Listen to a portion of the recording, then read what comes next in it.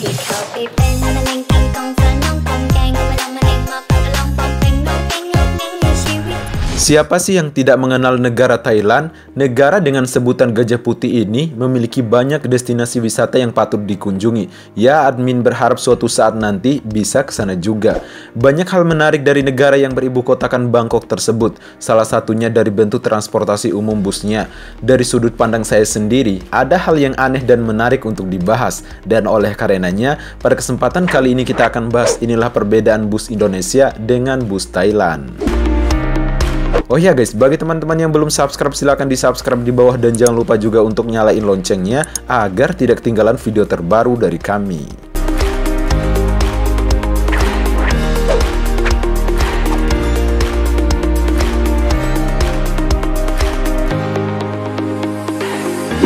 Supir dan kecepatan. Kalau berbicara masalah supir dan kecepatan, jelas beda jauh banget antara bus di Thailand dengan bus yang ada di negara Indonesia. Kalau kalian sering naik bus di Indonesia, rasanya geram banget ketika menaiki bus yang ada di negara Thailand karena tidak secepat bus yang ada di Indonesia. Mereka tertib, menikmati perjalanan, tidak ada yang namanya senam jantung atau apa pun namanya itu. Lajunya santai meskipun di jalan tol, jarang banget di Thailand lihat bus yang saling menyalip ataupun balapan antar bus yang satu dengan bus yang lainnya. Namun berbeda banget dengan bus yang ada di Indonesia. Siapa yang tidak kenal dengan Mas MR Gaplex ataupun Pak Bero dari perusahaan otobus Haryanto? Kalau kalian pecinta transportasi bus, rasanya mustahil banget lah kalau kalian tidak mengenal beliau-beliau. Berbicara soal kecepatan, siapa sih yang tidak tahu kecepatan bus yang ada di negara Indonesia? Meskipun jalanan sedang macet, tetap saja bisa melaju dengan kecepatan di atas 80 km per jam di bahu jalan. Sebut saja seperti perusahaan otobus Sugeng Rahayu, perusahaan otobus Haryanto, perusahaan otobus Sudiro Tunggajaya, dan lain sebagainya. Bahkan ada juga bus tingkat di Indonesia yang dijuluki sebagai King of Java Bus. Bus tingkat milik perusahaan otobus Nusantara tersebut yang sering kali melibas bus-bus single deck lainnya yang terkenal kencang di trayek yang sama. Dan sering kita jumpai juga bus di Indonesia menjadi viral di luar negeri karena kecepatannya.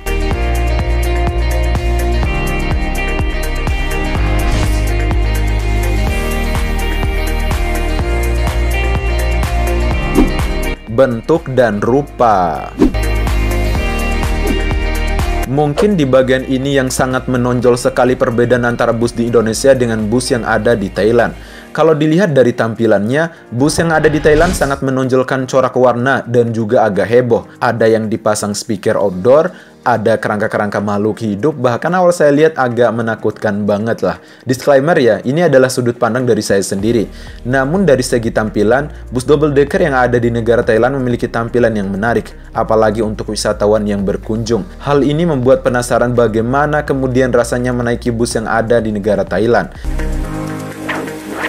Dilansir dari Thairat.com bahwa karoseri pembuat balutan bodi bus yang ada di negara Thailand akan memproduksi bus yang sesuai dengan aturan yang berlaku di negara mereka. Dalam artian, bus-bus yang diproduksi tentunya harus safety dan aman serta nyaman ketika beroperasi di jalan raya.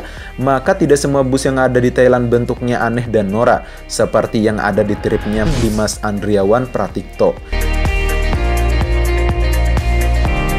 Hal ini berbeda banget dengan bentuk dan rupa bus yang ada di negara Indonesia. Bus di Indonesia memiliki tampilan yang elegan, sederhana, dan tidak mencolok mata, baik itu dari segi tampilan maupun dari segi warnanya. Untuk corak warna, biasanya mengikuti corak ciri khas dari perusahaan otobus itu sendiri. Sebut saja seperti perusahaan otobus Empati Star dari Banda Aceh, kemudian perusahaan otobus Harapan Jaya dari Jawa Timur, dan masih banyak lagi.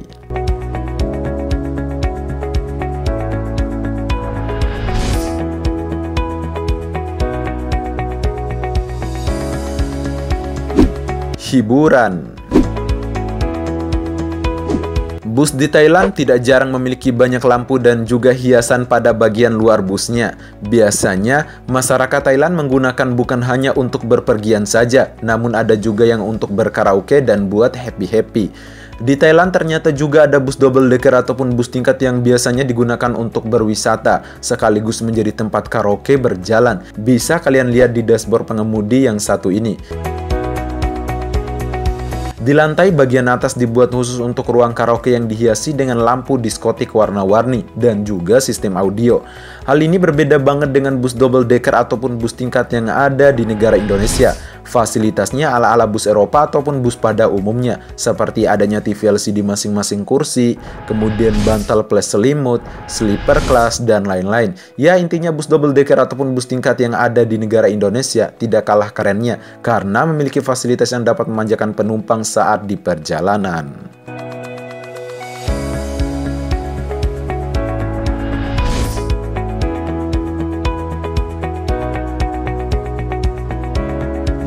Ceper.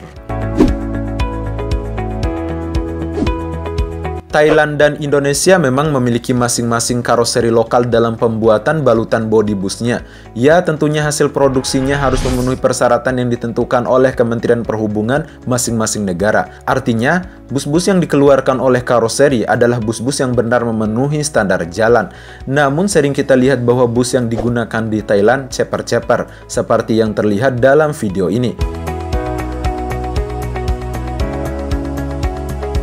Namun tidak semua bus yang ada di negara Thailand ceper-ceper. Kemungkinan ini adalah hasil kostum dari perusahaan otobus yang bersangkutan. Namun berbeda kalau berbicara tentang bus tingkat ataupun bus double decker yang ada di negara Indonesia, yang bentuknya standar bus pada umumnya serta tidak ceper-ceperan. Karena mengingat jalan di Indonesia yang tidak rata, bus-bus tersebut melayani trayek yang lumayan jauh, dan yang paling penting bagaimana kemudian selama di perjalanan penumpang merasakan kenyamanan.